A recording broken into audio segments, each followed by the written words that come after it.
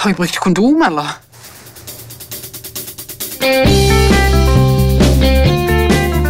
Gratulerer.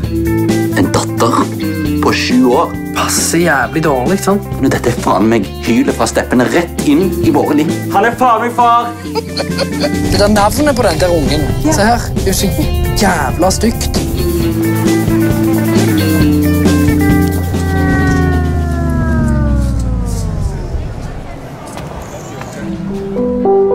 Jeg som er far din. Her kan du sove, vet du. Så kan vi ta vekk det askebegeret. Jeg vil til mor.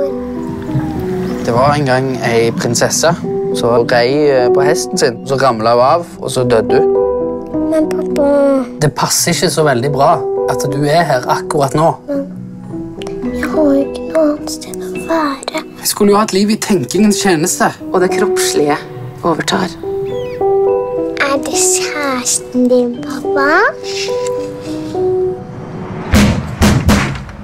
Å, satan. Hva holder ni på med?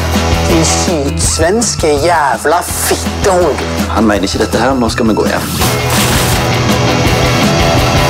Var det skönt och inte veta sitt eget bästa och gå på en smäll sen rusa som en tjur rakt in i nästa hjem. Men det her, det gjør du ikke. Det gjør du ikke mot meg og ikke mot datteren din.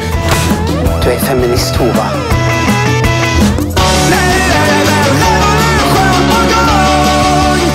Hva gjør han, da? Nei, det vet jeg vel faen jeg. Hva gjør du her? Det er faen ikke jeg som er hovedproblemet her.